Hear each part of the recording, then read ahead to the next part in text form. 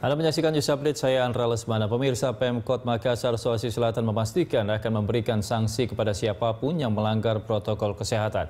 Hal ini dilakukan agar ada efek jerah dan meningkatkan disiplin warga untuk menerapkan protokol kesehatan.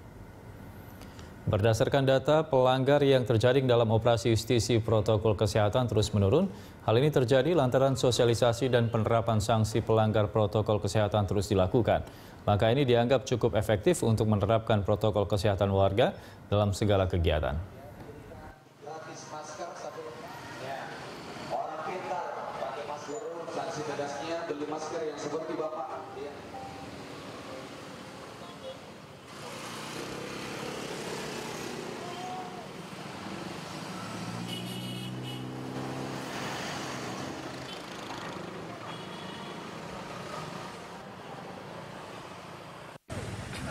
Alhamdulillah semenjak COVID ini yang dianjurkan oleh pemerintah bermasker itu banyak manfaatnya Pak.